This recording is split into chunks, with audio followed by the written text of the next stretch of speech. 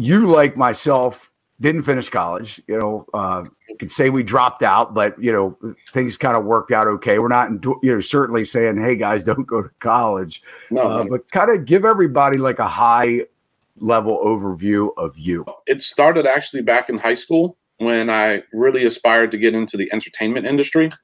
Uh, I started DJing. From that, it led into hosting and promoting my own events. And I was watching these promoters hosting these events and promoting these events. And I'm watching all this money come through the door, but I just saw it from the perspective of an entertainer or a customer. But I see eight, 900, a thousand people in there partying. And I'm saying, wow, he's charging 10, 15 bucks a head. In a sense, falsely put me in the perspective of how much money these entertainment promoters were making.